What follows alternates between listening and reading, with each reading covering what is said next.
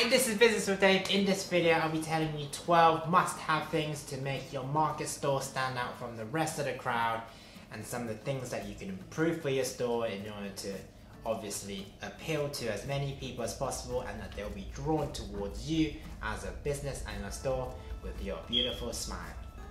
So yeah, let's jump straight into this video.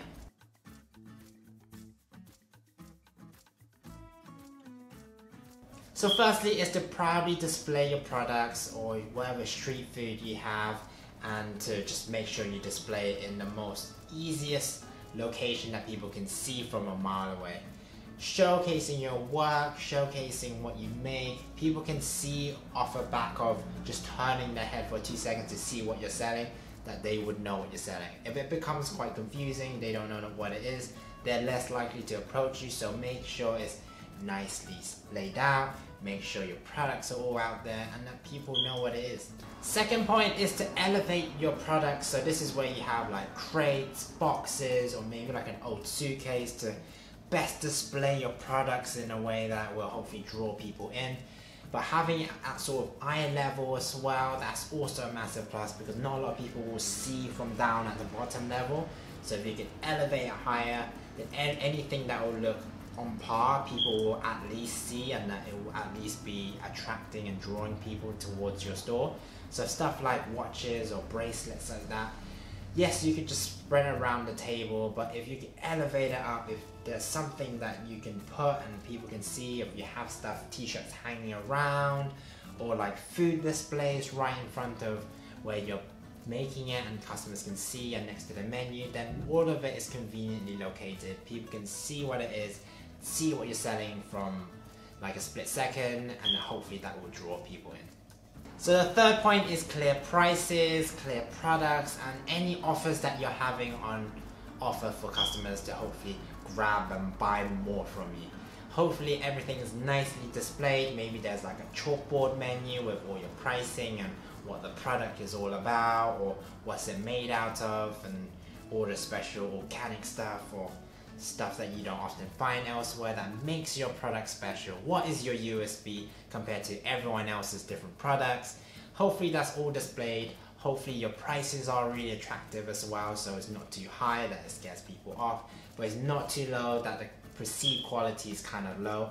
If it's between medium to high, then at least you have the sort of standard and quality that is on the above high quality par, which is always really good in that sense because there will always be so many competitors out there that will be selling on the lower end or on the higher end.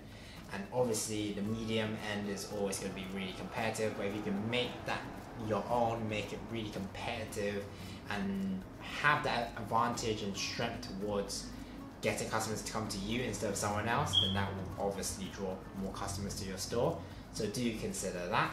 A lot of people I see nowadays just have a set price for a set thing and maybe have various different products, which is completely fine. But if you could offer like 10% off or at least two for five pounds instead of three pounds, three pounds, and just saving a pound, customers are more likely to hopefully get the bulk buy, particularly if they have if they're walking around the market with two, three people, one could have one, one could have one, one could have, and they could have a saving.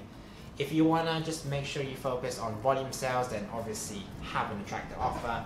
But if you're okay with just selling what you want with the set price, then obviously that's okay too because you don't need to make more than you should in order to sell at a lower price or discount it. So do consider that, receive qualities and stuff like that.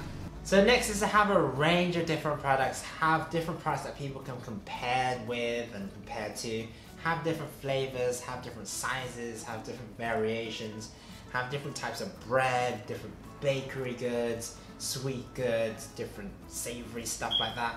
The more stuff you have there, the more attractive your store will look overall because it's more fuller instead of selling one or two things. You're selling more variety of different things. People could ask for different sizes or different variations and different flavors that hopefully you could offer to people and hopefully you don't offer other people don't offer the same thing so it makes your business unique in that sense but a fuller store will always look more attractive than a lesser store so do consider that the more stuff you have out there, the more likely people will buy bulk as well, particularly if you have different offers as well that we spoke about earlier. So do consider packing your store with different items that people is attracted to and that they're willing to buy more of and hopefully they will in that sense. So next point is to set yourself a theme and have everything set out the way you want it. The color schemes, how you want your store to look, how you want the store to feel, how you want the customers to hopefully approach your store and hopefully be able to be greeted with a smile, which is super important, a happy customer service and being able to answer questions and stuff like that. So important to enhance your customer service side as well as your product side of the business. And a lot of people don't focus on customer service because they think they don't really care about too much of it as long as they can sell their product. But for me personally, the product is just as important as the customer service. So it's a bit like 50-50 if you want to put it in that way. And I do encourage you to look in that sense because if your product is really good, but you offer really poor service, they might come back to buy once or twice. But if you can offer a really good service and a really great product, then they will remember you, they will tell their friends and family about you, and they're more likely to become repeat customers for you and your business in the long term. So do consider everything that you're setting up in terms of theme wise and quality wise and how you want to be perceived because ultimately that's how people will see your store and you want it to be in a good light and good impression. The sixth point is to try maybe use technology to elevate your products in order to engage with the customers. Maybe there's something, a video that you need to show to customers in order to demonstrate your point. Maybe it's a demonstration of a service that you offer. But there's so many different things that if you tap into technology and tap into the world of the internet and stuff like that, you could hopefully enhance your market store to the next level. So do consider maybe having an iPad there, demonstrating what your product is all about or what your food is all about and stuff like that where maybe it's not advanced yet in terms of technology for helping market stores but obviously there will be. So do consider different technologies in that sense. So if you can factor in that and have card payments as well as cash payments then at least you won't lose any customers and that hopefully yes you won't lose any customers. So it means that you won't be losing any sales as well the next point is to have your store nice and neat and tidy and again make sure everything is nicely presented because no one likes a messy store. It becomes very complicated. It becomes it ultimately deters people away from approaching your store if it doesn't look like it's nicely neated, presented, well thought out. If it's all just thrown together into a slop and thinking that it will sell. Don't don't do that. Please don't do that because no one's gonna approach your store. No one's gonna buy from you if it looks like a mess. So do make sure it's well presented, it's eye catching. Your you yourself is like well presented and you're not a mess as well and everything is everywhere because honestly you want it to be nice, simple and clear. Have the simple message of what you're selling and hopefully people will buy into it. But if it becomes messy, becomes a bit too complicated and yeah, people will be hesitant to come shop at you. So have information or have leaflets to give out or have it on your store. Any potential information that will hopefully enhance your business, give customers information, maybe educate them about you and your product will always be a massive plus. You don't necessarily have to give it out to people because obviously people will just take it and maybe read a couple seconds and chuck it away. But if you have it on the table, if you have all the necessary information around your stores that is nicely labeled and people can take stuff away, then obviously that'll be a massive plus because if they get to know you, your business, your origins, your ingredients and stuff like that, then hopefully they can tell their friends and family about you and uh, word of mouth will spread.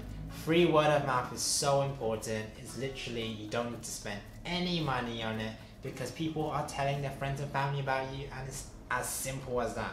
That's the easiest form of marketing and the best form of marketing I've been using for so many years.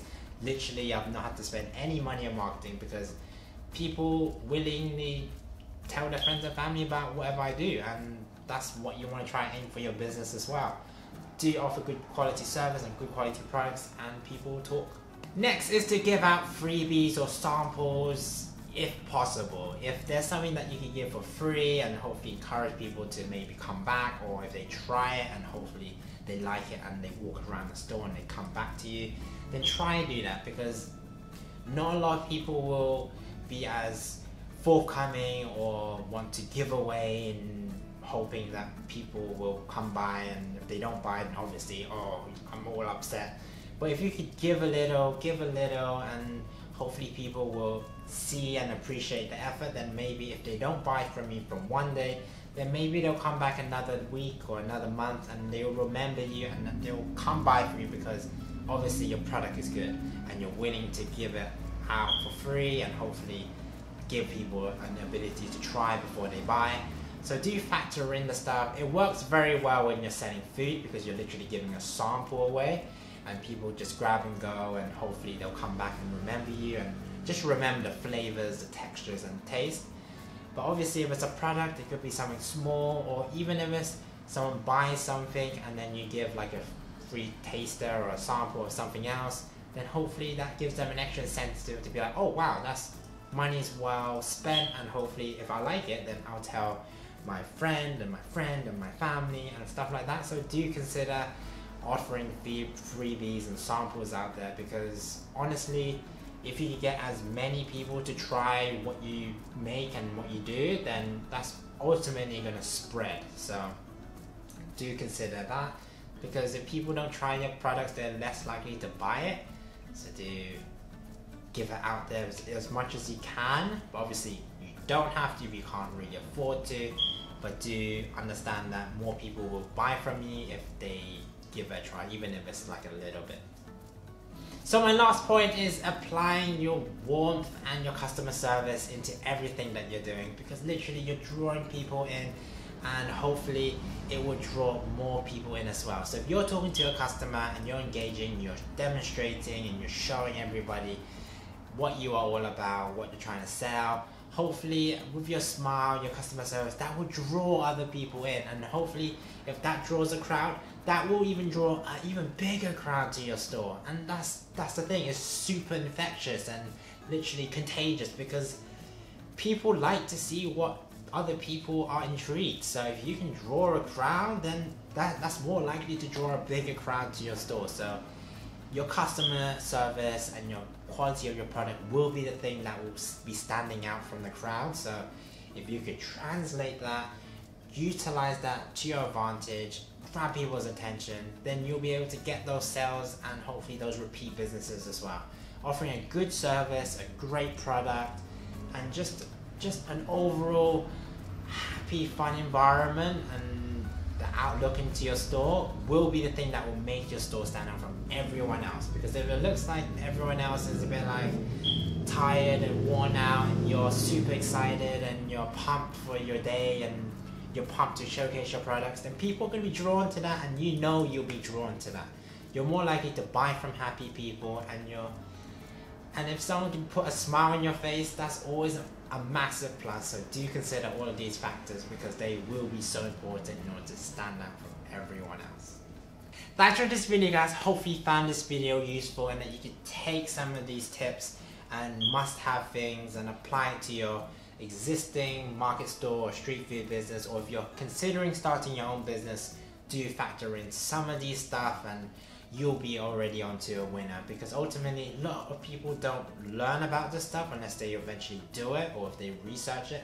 But if you're watching this video then you're already putting yourself in the right path because you're listening from the all my advice and hopefully experiences as well and hopefully you can apply it because ultimately I'm here to help you hopefully put more knowledge into your heads and experiences and hopefully my wise words will encourage you to actively pursue your passion and careers and stuff like that.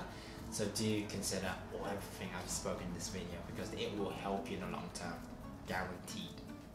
So thanks for watching this video guys, hopefully you liked this video and consider liking it and subscribing to the channel. If you have any questions, do DM me on my Instagram or put it in the comments below.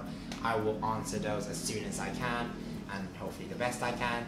I've been business with Dave. Oh, also I release a video every Wednesday at 12 p.m. So do not miss those releases. I do create a habit of releasing a video every single week, so do catch that and hopefully it could help you along the way. So yeah, I've been with Dave. I'll see you in the next video. Take care.